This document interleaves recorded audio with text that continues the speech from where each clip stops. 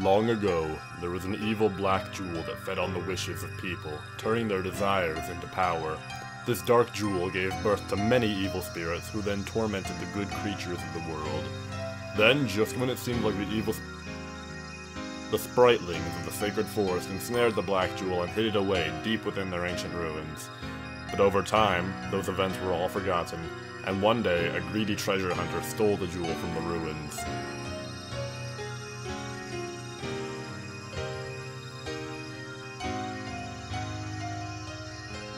Oh, free at last! I'm chock full of power. I think I'll turn all of this greedy sap's jewels into evil spirits!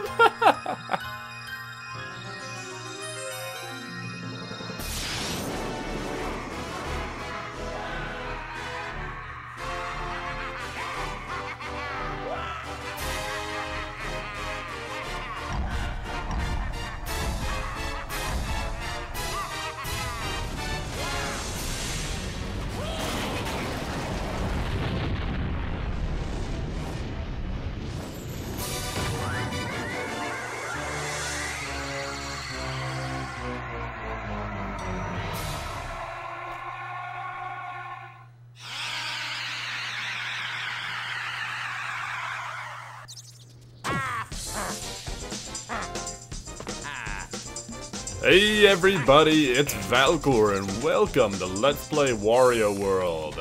Wario World was a game for the Nintendo GameCube that not a lot of people seem to actually know about. It was one of my favorites when I was younger, and so here's hoping it uh, still holds up to the test of time. This won't necessarily be a 100% run, but I'll do my best. Without further ado, let's get right into the first level of Excitement Central, the first world.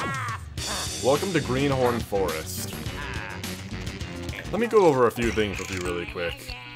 Every single level in Wario World has 8 treasures for you to find, alongside a gold statue and several red jewel fragments. The final thing you'll have to collect is 5 Spritelings.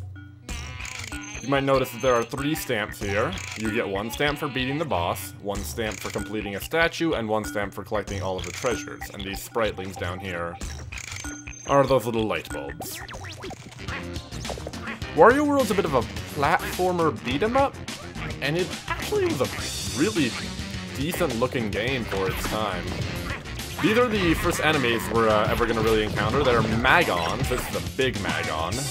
Magons are going to kind of be the basic grunts of the world. This button is going to be our first example of a treasure. The treasures are found by hitting a button and then finding its matching panel on the ground. You can collect treasures to activate games or transfer to your Game Boy Advance. There's going to be games from the WarioWare games for the GameCube. I don't know what I own, or used to own. I believe it's gone missing, actually, unfortunately. This is a Spriteling here. Wario's going to scratch his butt very quickly. Spritelings give useful tips. Wario, hi! I've been waiting for you. I'm one of the Spritelings of the forest. I have really bad news. That evil black jewel you stole is sucking up all of the negative greed energy swirling around in your castle, and terrible things are starting to happen. Honest. If you want to survive, press the A button to jump and press the B button to punch. Also, press the B button to pick up and hurl KO'd monsters. Practice up, okay? Just gonna go over just a couple basic controls with you. Um, B button is to punch, A is to jump. You jump a little, you can short hop, you can full hop if you hold it down more. Some of the platforming in this game can get a little bit difficult. This is going to be our first example of a gold statue piece. Uh, if you complete the gold statue, you get half a heart fragment, which can be very useful. There's just some more Magons here. You can hold the L button to uh, um, suck up coins off the ground.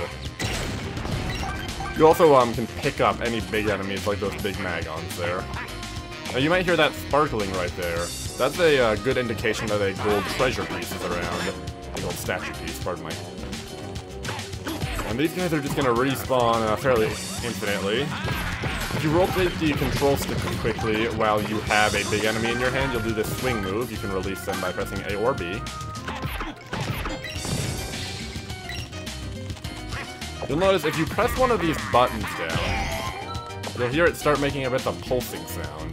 That's a good indication for where these treasures are going to be located. Chests are just able to be punched open. Sometimes they contain money, sometimes they contain garlic, which is the health currency for Wario. Eating garlic keeps him his health back. Your final option for big enemies is just to charge up and throw them, which works just as well as any of the others. There's a yellow thing up there. The switch is located down here. We'll eat all this money up very quickly and then go get the yellow treasure.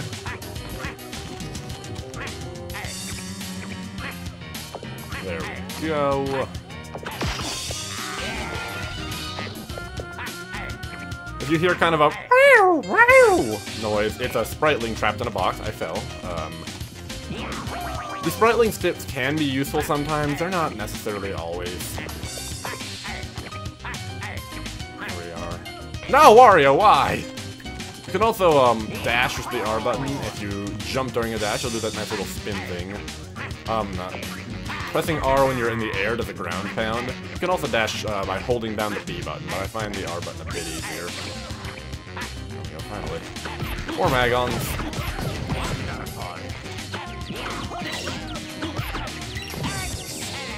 We'll just ignore that one for now. There's a Spriteling right here.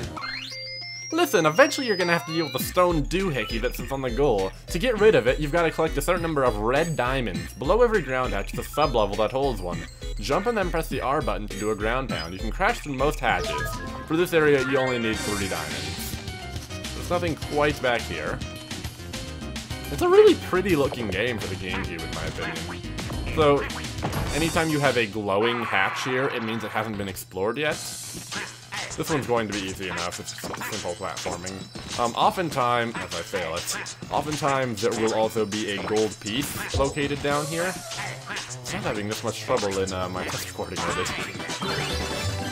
So you only need to collect three of these red diamonds for this level, um, but we'll probably be collecting all of them, just because all the gold pieces are incredibly helpful health-wise. This man is a garlic dispenser, as he's about to tell us. Garlic! Don't you love garlic? Delicious garlic restores health! Listen, you big oaf, if you've got the courage to take me on, I guess it's okay to sell you garlic. Uh, thank you, sir. So if you punch him, you get a garlic piece. His price actually goes up every single time. So be wary of using him too much. I obviously have uh, full health, so I'm not going to need it too badly. There's another gold piece right there. I definitely want to pick up. And miss that jump. Wario. Can move the camera with the C-stick, which can be helpful. Can I jump? There we go. Got another red diamond. We're already uh, two-thirds of the way if we were not going for 100% on this level specifically. But I figure it's the first level. I should probably go for 100%. There's another Spriteling. Or you're using the B button correctly, hold down B for a dash attack, hold down B and then release it for a Mega Toss, all things I've already explained to you. Now this right here, I thought I saw, never mind. Another uh, ground hatch right here for us. We're gonna have to make some stairs here.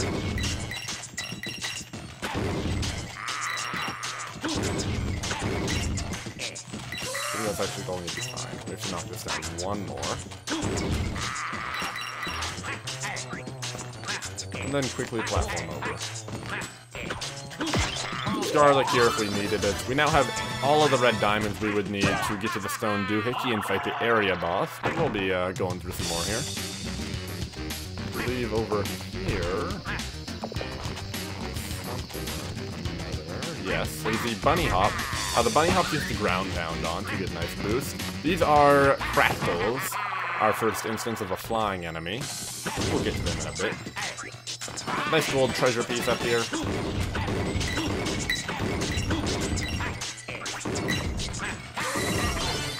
Going to be the red diamond piece for this area. You could break all of these for coins if you wanted to. It might not be the worst idea in the world.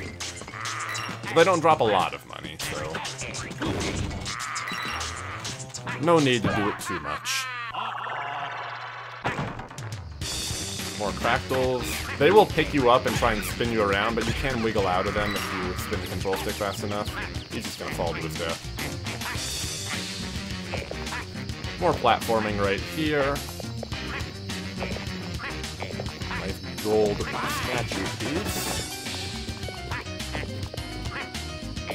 More big Magons.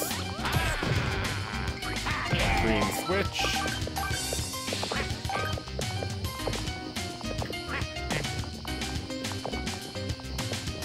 Jump.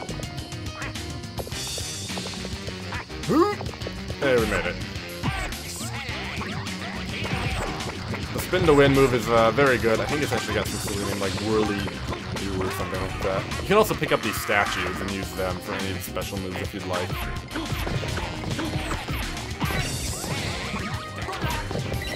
But I don't think it'll be necessary. Here's the Lightning, which here's our first uh, Triceratops. He's special in that he becomes invulnerable when he charges forward red, and you also can't hit him through his club. But he's not too hard to take out.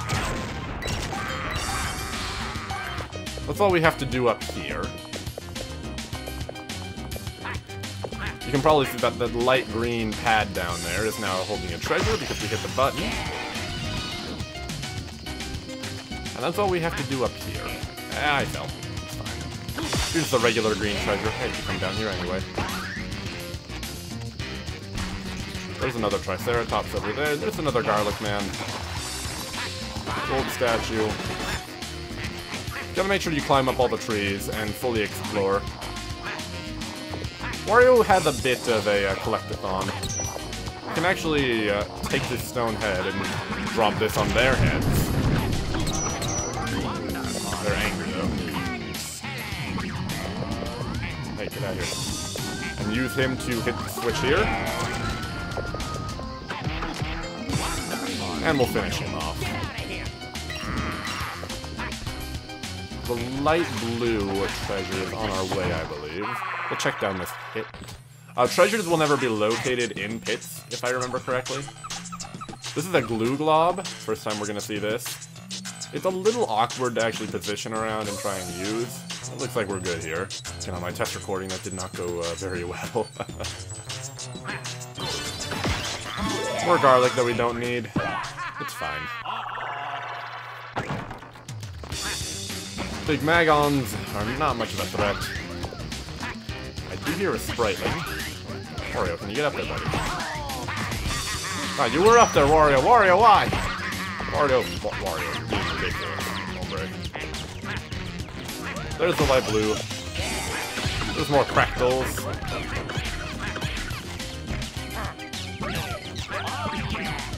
Finish two birds with one stone. Two birds with one bird, rather, I suppose. Careful, Wario! All of the cliffs and deep chasms around here are really, really dangerous. If you fall, you'll land in Unithorn's lair. Scary. You'll lose coins as long as you're in Unithorn's lair, so if you fall in, you'd better hurry up and find the escape spring before you go broke. Uh, so bottomless pits in this game do not have the death penalty, thankfully. You fall into a Unithorn's lair, which are kind of spooky little purple demons that are going to try and eat all these coins from you. I'll take it over dying for falling into a pit, but uh, it can be bad. I'm not going to purposely fall in there right now, just for your amusement. I'm sorry. I might fall in, though. Hello, Cractyls. This bridge is going to break, but we made it. What is the last Spriteling? Hey, there's the goal, Wario. If you found enough red diamonds, the stone doohickey blocking the way will vanish. If not, the bye-bye balloons can take you back to the start point. Up ahead, the diamonds you need will appear more frequently. If you want to know how many you have, just press start slash pause and check your inventory screen. Okay, okay. Inventory screen will show you all you've collected so far. We're only missing one more piece of the gold statue, which is awesome. We're missing two treasures, and we're missing one diamond, I believe. No, two diamonds. Okay. There's the Stoon yeah, The bye-bye balloons are right there. They'll take you back to the start of the level, which is not necessary for us at this point in time. We'll fall down here to get one of our last diamonds.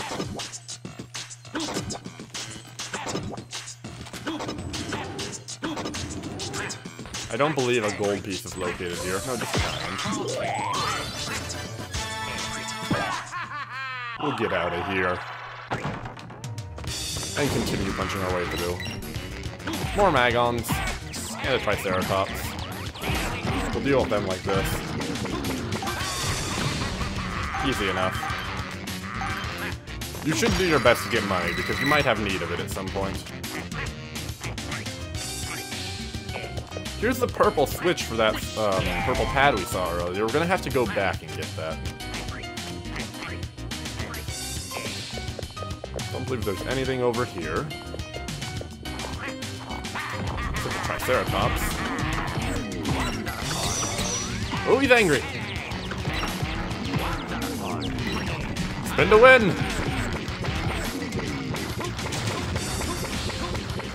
How many can we get here? 20. Alright, that's not that bad. We'll hop down this for the last red diamond we're missing. And the last gold statue fragment. So there's that stamp polished off right there. Now we simply need to go get the last bit of treasure. Sneaky, sneaky, sneak. There's no crouch button. This is a unique enemy uh, that we haven't seen yet. It is the Anchiron, and he has a cannon on his back, if you haven't noticed, and he fires bombs. Usually the best way to deal with him is to pick up a big enemy or one of his bombs. He doesn't really want to die right now, but now he's dead. Those, those bombs will explode. Ow. That's the blue treasure. Yeah. So here we are in the Unithorn's lair. You have to punch these boxes and find the escape spring. Thankfully, I did in time. There's our last treasure. We're just going to give us a treasure complete stamp. I don't actually have my Game Boy Link cable on hand, so I can't exactly show off the things. Also, it's only on the Game Boy screen, if I remember correctly, so... I'm recording this off of a Wii. This is going to be the boss door. And ladies and gentlemen, I'd like to introduce you to the first boss of Wario World, Green Fist. Bosses are a bit unique in that you can't just beat the heck out of them to deal to get rid of their hurts. You're going to have to usually do special things for each of them to deal with them. That usually involves one of your big moves. So for Green Fist here, we're going to knock him down and then do one of our special moves. And he'll knock out one of his boss hearts there. And he's going to get angry and chase us. Circle strafe to win. Circle strafe to win. Just throw him off the edge for this one. That's another one of his hearts done.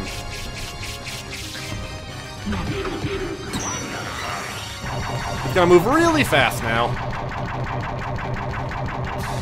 We're alright, though.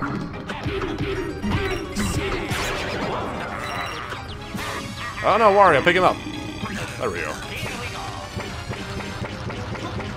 Finish him off with a spin to win.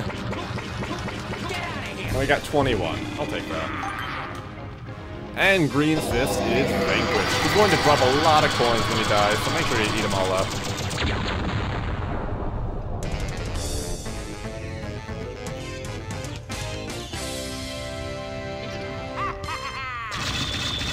You get extra coins at the end of every level for how many punches you threw, which is kind of nice, I suppose.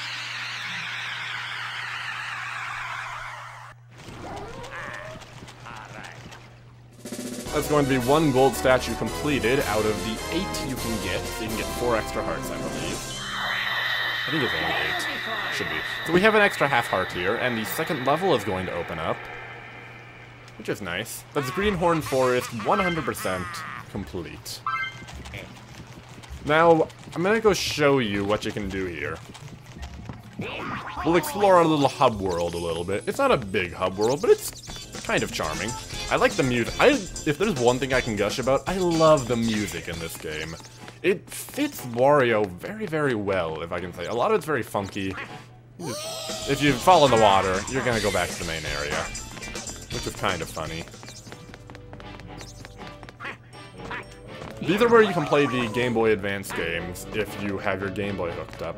I don't have mine hooked up right now. I will try and get it hooked up at some point and see if there's a way for me to capture it.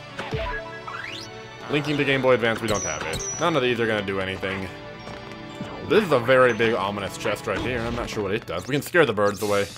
Oh my god, it's next gen. The birds fly away when we get near. It was a Call of Duty, if you couldn't tell. Um, that aside, I do believe that's going to be all for this episode, guys. This is our small little hub world of the Treasure Square. And next time on Wario World, we're going to be going into the second level of Excitement Central, Greenhorn Ruins. Thank you for watching, I hope you enjoyed, and I hope to see you next time.